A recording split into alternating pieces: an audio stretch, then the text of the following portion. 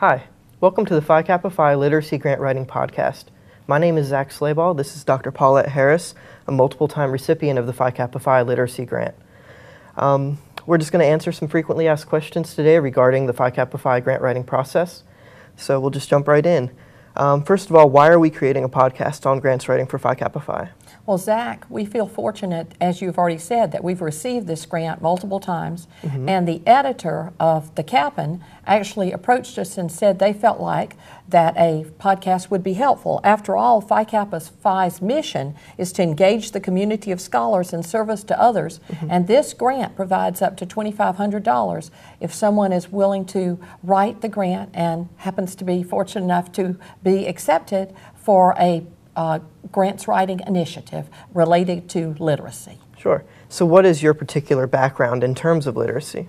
Well, I do teach grants writing courses here at Augusta State University at the graduate level, and in addition, I founded and direct the ASU Literacy Center. Mm-hmm. So, regarding Phi Kappa Phi Literacy Grant Program, what is the purpose of the Honor Society? Well, one of the purposes that relates specifically to the Literacy Grant Initiative deals specifically with involving members of the Honor Society of Phi Kappa Phi, as well as the higher ed community as a whole, to champion literacy initiatives in individual communities. Okay. And how does this purpose relate to the mission statement of Phi Kappa Phi?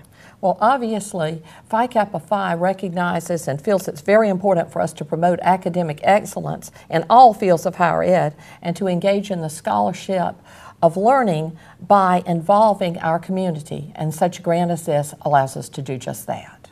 Okay, so how do we go about applying for the Honor Society of Phi Kappa Phi's literacy grant?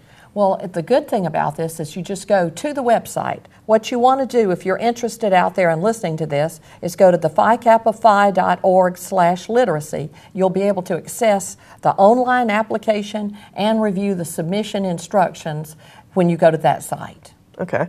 So then how does Phi Kappa Phi define literacy in terms of this particular grant? Well, in terms of this grant, they define literacy first very broadly.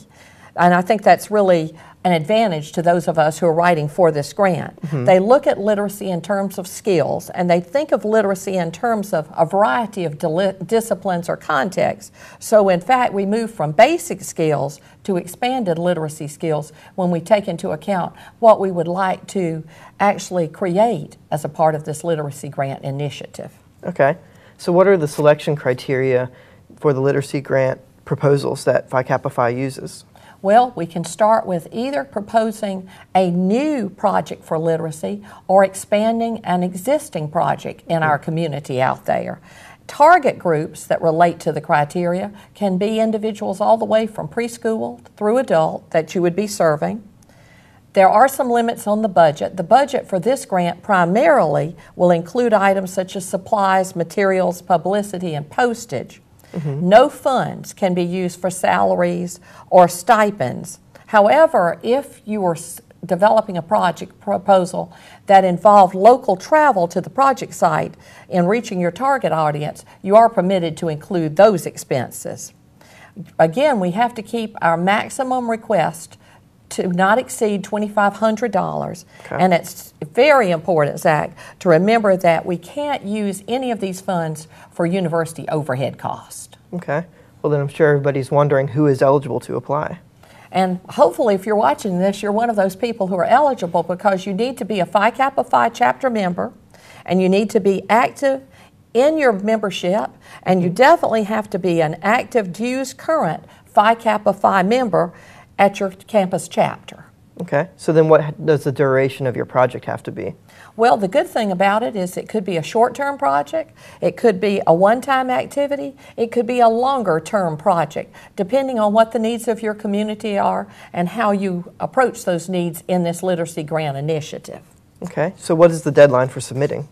Well, you have to be very careful with this because you don't want to miss the deadline. If you do, you are, your consideration will not be given at all. Completed applications must be submitted to Phi Kappa Phi headquarters by April 1st by 11:59 Central Time p.m. Okay. So what's the overall goal of the Phi Kappa Phi Literacy Grant Program competition? Well, obviously what Phi Kappa Phi wants to do is engage the chapter members and all of the chapter as much as possible to look at what the needs are in the communities where the local communities where they are and to think about how does this literacy project that you're proposing fit in what Phi Kappa Phi refers to as love of learning. Okay. So what project could you consider doing in terms of literacy for your local community? Well, again, you can either choose something that's more limited or more ongoing types of activities. And let me just give you a couple of examples. If you were thinking about an ongoing activity that relates to literacy, you might propose a regularly held story hour at a community library or at a bookstore and do it over a, a shorter duration. If you wanted something that would be ongoing, you might consider doing a book drive, for instance, for local schools in your area or for local libraries. Those are great ideas. So, how do we decide to pick one? What, what project could we do? Well, you really have to take a little time and look at the literacy needs of your own individual community and try to decide if I want to meet that need, what would be some creative ways to do so, and keeping all of that within that $2,500 max requirement for the RFP for, for Phi Kappa Phi. So is it permissible then to seek supplemental or matching funds for the project? Absolutely. In fact, that will definitely be a plus if you indicate that you do have some matching funds when you submit your RFP. You can look at places like corporate foundations, sources within your own university, local communities, state agencies, other funding sources. Again, be creative in terms of how you're going to find some supplemental or matching funds for this project. Okay, so if we are funded by Phi Kappa Phi, are there guidelines relating to how we promote our project? Absolutely. And the most important is every time you promote your project through any type of PR, be sure to mention that Phi Kappa Phi is the sponsor for the program. And that's really important that we continue to do so. Okay, so at the end of the grant cycle, what does the project director have to do with all the unspent money?